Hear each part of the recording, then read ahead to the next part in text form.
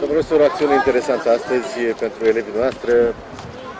Da, o acțiune interesantă și ne bucurăm de fiecare dată. Uitați, se aude soneria clasei. Mi-aduc aminte de perioada în care eram și eu elev, student, după aceea. Da, ne bucurăm de fiecare dată să venim în mijlocul copiilor. Uh, chiar am stat puțin de vorbă cu ei și în, uh, în clasă. Uh, e o bucurie și pentru ei, cred. E o bucurie și pentru jucătorii noștri.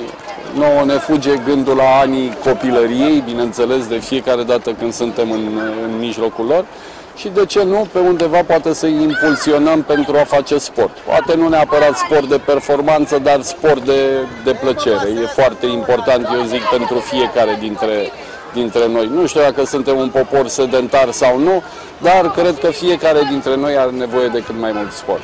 Vă amintiți dumneavoastră când erați elev, ați avut parte de un meci, știu, demonstrativ cu Universitatea Creva, mă gândesc?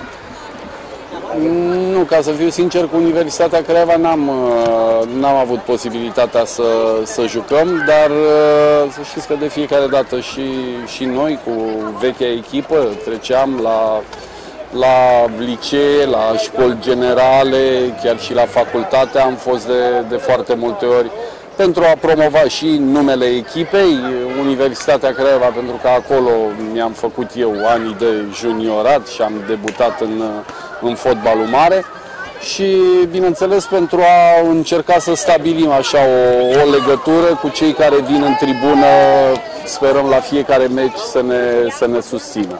Deci, din punctul ăsta de vedere, o să fim deschiși de, de fiecare dată, o să răspundem oricărei invitații, bineînțeles, care nu ne afectează programul pe care îl avem cu, cu echipa și ne bucurăm, încă o dată ne bucurăm să fim în mijlocul tinerilor. Cel mai dificil meci al sezonului astăzi?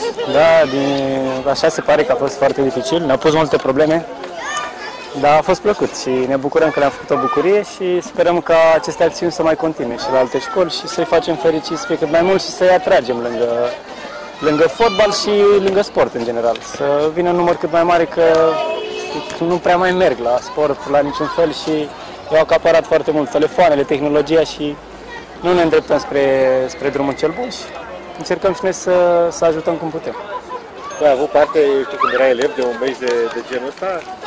Uh, nu, din păcate n-am avut. Aș fi vrut să am parte, dar uh, ne bucurăm că acum putem să facem noi aceste lucruri și uh, v-am zis, sperăm să nu se oprească aici această campanie și să mergem la cât mai multe școli să promovăm fotbalul și FC Arge și, și sportul.